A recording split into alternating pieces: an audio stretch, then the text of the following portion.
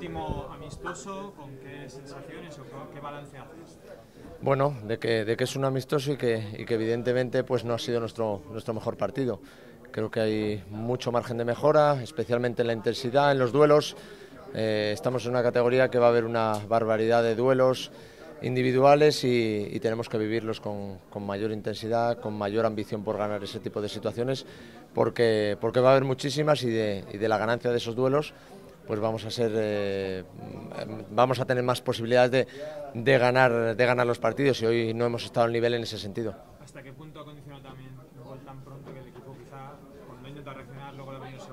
cómo, lo has visto? Bueno, que no, no es excusa. Eh, los partidos empiezan en el segundo uno tienes que estar muy muy enchufado porque un gol en cualquier categoría a nivel profesional te penaliza muchísimo y empezar el partido perdiendo 1-0 fuera de tu casa pues es, es, complicado y siempre es difícil darle, darle vuelta. Así que vuelvo a repetir, son cosas para, para mejorar, para aprender. Está claro que siempre es mejor que pase ahora, como es sin duda un, un tópico, pero, pero es así y dentro de nada estamos ya en la, en la jornada 1 y ahí sí que no puede pasar. ¿no? ¿Has presentado un once a Martín después de la situación que se vivió? En cambio, no Sergi.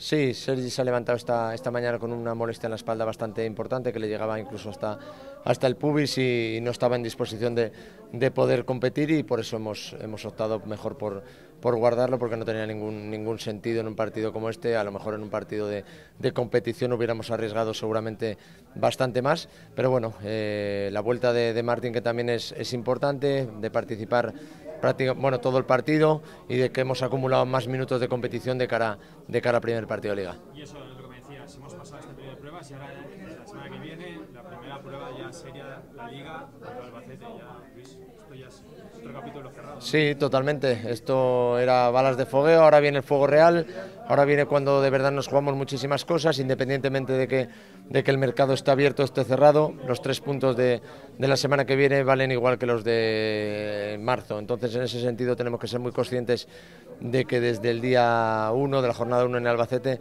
nos jugamos absolutamente todo y que tenemos que dar sin lugar a dudas otra, otra versión, la mejor versión de, de cada uno y, y salir adelante e ir a por el objetivo.